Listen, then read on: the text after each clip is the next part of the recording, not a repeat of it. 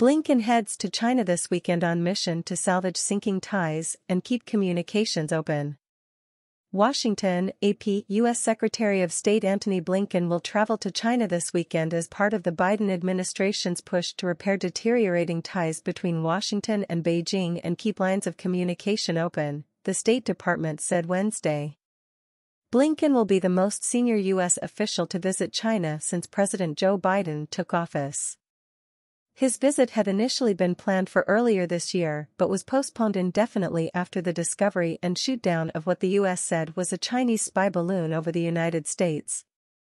Since then, however, there have been lower-level engagements between the U.S. and China despite ongoing hostility and recriminations over both sides' actions in the Taiwan Strait, the South China Sea, China's refusal to condemn Russia for its war against Ukraine, and allegations from Washington that Beijing is attempting to boost its worldwide surveillance capabilities, including in Cuba. The State Department said Blinken had spoken with his Chinese counterpart, Foreign Minister Qin Gang, on Tuesday night to confirm his trip, which will begin on Sunday and was first reported by the Associated Press and other news organizations last week. Blinken will leave Washington late Friday. While in Beijing, Secretary Blinken will meet with senior PRC officials where he will discuss the importance of maintaining open lines of communication to responsibly manage the US-PRC relationship, the department said, using the acronym for the People's Republic of China. He will also raise bilateral issues of concern, global and regional matters, and potential cooperation on shared transnational challenges. In its readout of the phone call, China's foreign ministry said Qin urged the United States to respect China's core concerns such as the issue of Taiwan's self-rule, stop interfering in China's internal affairs, and stop harming China's sovereignty, security and development interests in the name of competition. Qin noted China-US ties have encountered new difficulties and challenges since the beginning of the year, and the two sides' responsibility is to work together to properly manage differences, promote exchanges and cooperation and stabilize relations, it said. Blinken, who will be the first Secretary of State to visit China since 2018, expects to meet with Qin on Sunday, as well as China's top diplomat, Wang Yi, and possibly Chinese President Xi Jinping on Monday, according to U.S. officials.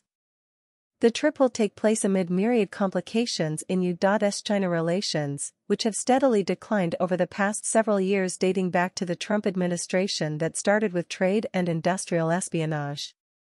Those concerns grew rapidly to include human rights concerns over the treatment of Uyghur Muslims and other minorities in China's western region of Xinjiang, Hong Kong, Tibet, and increasing Chinese aggressiveness toward Taiwan, and then escalated over questions about the origin of the COVID-19 virus. Blinken's visit was agreed between Xi and Biden last year at a meeting in Bali during which the leaders agreed that the world's two largest economies must remain in contact and take precautions to ensure there are no miscalculations in their global rivalry that could lead to conflict. The trip came within a day of happening in February but was delayed after the spy balloon incident. Beijing insists the craft was a weather balloon that strayed off course.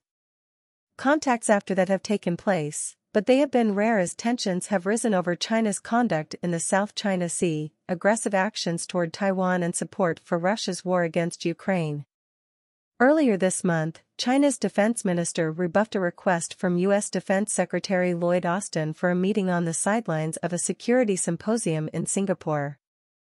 However, shortly after postponing his trip to Beijing, Blinken met briefly with Wang at the Munich Security Conference in Germany. And, CIA Chief William Burns traveled to China in May, while China's Commerce Minister traveled to the U.S. last month. And Biden's National Security Advisor Jake Sullivan met with Wang in Vienna in early May. More recently, the top U.S. diplomat for the Asia-Pacific region, Daniel Kritenbrink, traveled to China last week along with a senior National Security Council official to finalize details of Blinken's trip.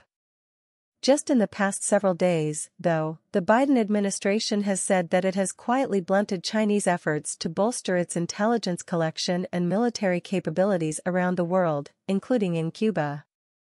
Blinken said on Monday that when Biden took office in January 2021, U.S. intelligence agencies briefed him on a number of sensitive efforts by Beijing around the world to expand their overseas logistics, foreign collections infrastructure to allow them to project and sustain military power at a greater distance.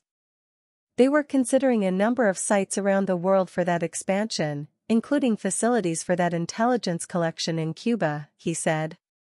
Although the Chinese had already upgraded their facilities in Cuba in 2019, Blinken said Biden determined that more needed to be done because Trump administration officials weren't making enough progress on this issue and we needed a more direct approach. He did not elaborate on what had been done since, although the Biden administration has moved rapidly to expand its diplomatic presence, especially in Indian Ocean and the Pacific Island nations, where it has opened or has plans to open at least five new embassies over the next year or so. We've been executing on that approach quietly, carefully, but in our judgment, with results, Blinken said.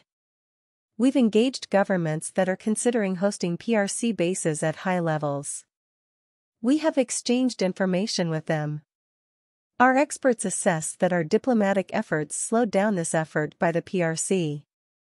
After his meetings in Beijing, Blinken will travel to London to attend a Ukraine reconstruction conference next on June 21, the State Department said.